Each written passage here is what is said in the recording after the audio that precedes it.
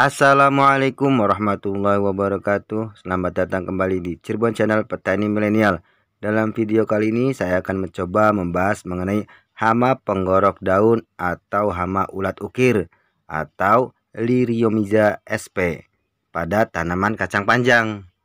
Bagaimana serangannya dan apa saja yang diserangnya? Untuk yang sudah subscribe di Cirebon Channel Petani Milenial saya ucapkan terima kasih dan yang baru menonton di video Cirebon channel petani milenial silahkan subscribe. Yuk dilanjut. Dalam budidaya tanaman kacang panjang tidak terlepas dari hama dan penyakit yang menyerang tanaman kacang panjang. Salah satu hama penting kacang panjang adalah hama penggorok daun. Dan hama ini banyak memiliki nama atau sebutan di setiap daerahnya ada yang menyebut lalat bibit atau ulat ukir.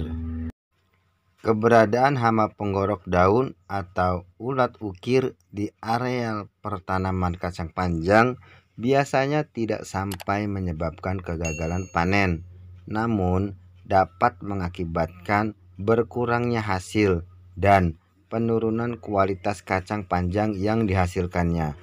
Untuk menanggulangi hama tersebut, diperlukan Bukan pengetahuan tentang siklus hidup dan cara menyerang hama penggorok daun tersebut. Hama penggorok daun atau ulat ukir adalah serangga yang menjadi hama penting karena hama ini banyak menyerang tanaman dari komoditas sayuran. Contohnya mentimun, oyong, tomat, buncis, dan kacang-kacangan, termasuk juga tanaman kacang panjang. Imago hama penggorok daun berukuran 1,5 mm, berwarna hitam kecoklatan, dan terdapat bintik kuning pada tubuhnya.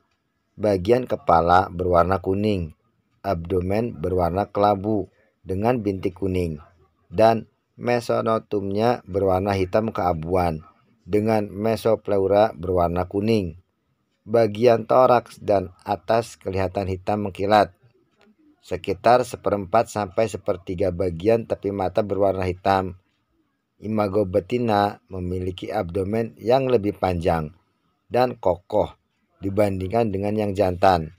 Panjang sayap sekitar antara 1,25 sampai 1,75 mm. Rata-rata ukuran imago betina adalah 1,5 mm, sedangkan jantan 1,3 mm. Lama hidup imago tergantung dari kondisi lingkungan. Dalam siklus hidup hama penggorok daun, lalat betina menusukkan ovipositornya pada permukaan atas daun, kemudian memakan cairannya.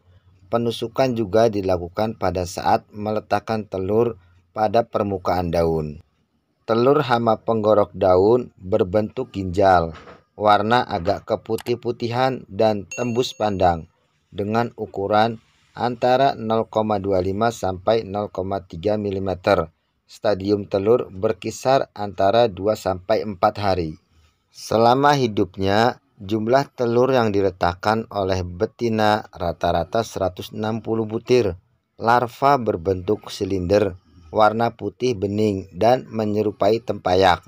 Larva terdiri dari tiga instar, dan masa perkembangan masing-masing 2-4 hari. Larva yang baru menetas langsung menggorok jaringan mesofil daun dan tinggal di dalam liang korokan selama hidupnya. Korokan semakin melebar dengan semakin besarnya ukuran larva atau semakin besar larva, semakin besar liang korokannya. Setelah larva berganti kulit meninggalkan Kait mulut yang berwarna hitam dan keras ditinggalkan di dalam liang korokan. Dan ini dapat digunakan untuk mengetahui tahap instar. Larva instar akhir akan keluar dari daun dan membentuk pupa pada permukaan atas daun, kemudian akan menjatuhkan diri ke tanah. Fase pupa berlangsung selama 5-12 hari Pupa berwarna kuning kecoklatan berbentuk oval memanjang yang menyempit pada ujungnya dengan panjang 1,5 mm dan lebar 0,75 mm. Imago yang muncul dari pupa biasanya pagi hari. Imago yang baru muncul langsung berkopulasi dan pada hari berikutnya imago mulai meletakkan telur dan seterusnya siklus hidupnya seperti itu.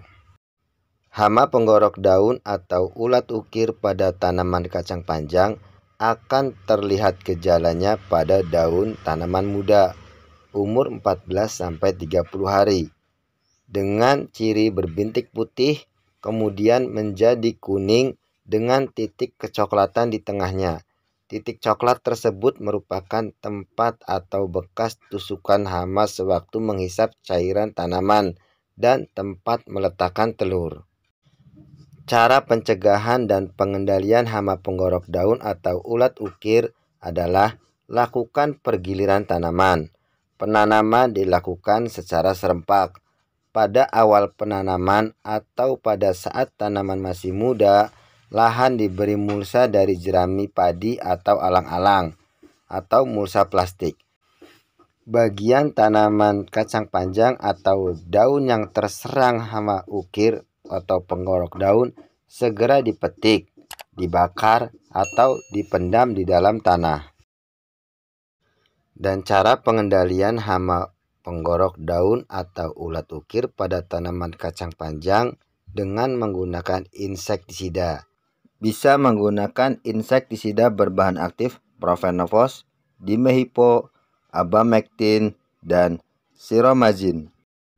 Inilah contoh insektisida dengan bahan aktif profenofos yaitu kurakron, detakron.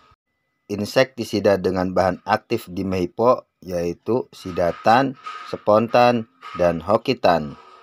Insektisida dengan bahan aktif abamectin yaitu agrimek, vidamek, kronus, dan demolis. Insektisida dengan bahan aktif siromazin yaitu trigar, serotex. Pilih salah satu saja dari jenis insektisida tersebut dan lakukan penyemprotan pada waktu pagi atau sore hari dengan keadaan cuaca yang cerah. Namun, lebih baik pada sore hari menjelang malam hari karena semua hama pada aktif menjelang malam hari. Demikian penjelasan mengenai hama penggorok daun atau hama ulat ukir pada tanaman kacang panjang. Semoga bermanfaat. Terima kasih. Jangan lupa subscribe.